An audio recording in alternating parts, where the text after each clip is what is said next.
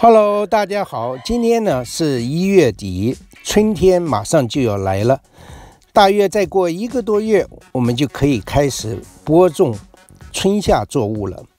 那么，开始播种春夏作物，水果、蔬菜，你的地准备好了吗？为了春夏作物的健康生长，春耕养地就是一个非常非常重要的环节。有人说种植就是土的艺术，那么可见养地有多么的重要。在华语当中，地是土字旁和野字旁组成，那么养地就是养土，一点也不夸张。我们要让土壤不仅补充充足的营养和微量元素，更重要的是让土壤无虫害，并且保持适当的土壤结构。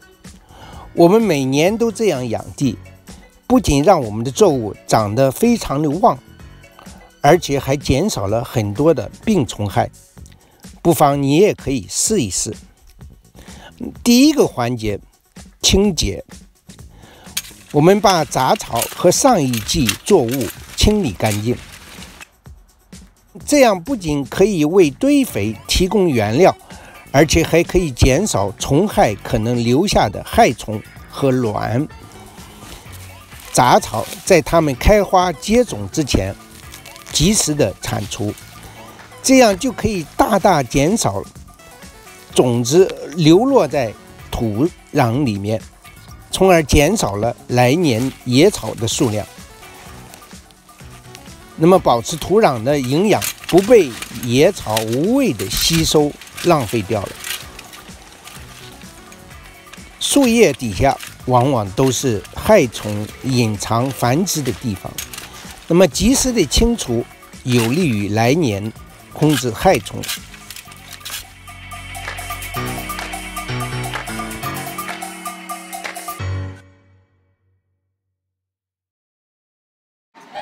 第二个环节，深耕。对于深耕，目前有争议。有观点说，这样会破坏土壤底层的结构，进而破坏有益微生物的生长环境，不利于土壤微量元素的转变成植物可吸收的微微量元素。特别是近年来，随着转基因 GMO 植物的大量种植，已经让虫害远离，所以不再建议耕地。我不认同此类观点。几千年，农民经过千锤百炼摸索出来的春耕还是有一定的道理的。虽然我们可能影响了土壤底层的微生物的有益微生物的生长环境，但是它也大大的破坏了害虫的生长繁殖的环境。其实，我们种植有机农作物最大的挑战就是害虫。害虫不仅减少了我们丰硕的果实，更重要的是，害虫往往对农作物都是致命的。如果我们用农药呢，就可能对我们的人体健康有害。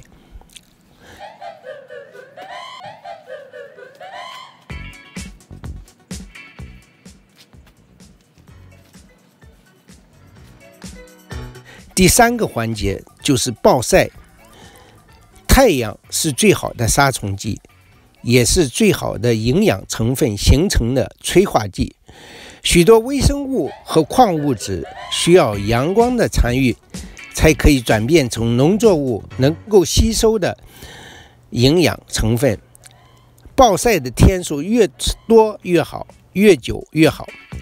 要反复的翻土，让土壤休养生息。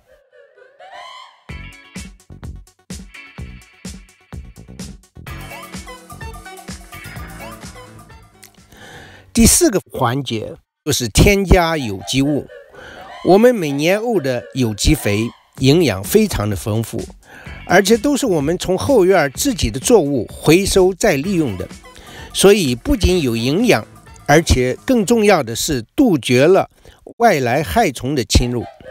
引入，我们把这十几袋子肥料全部用上，分撒在不同的地点。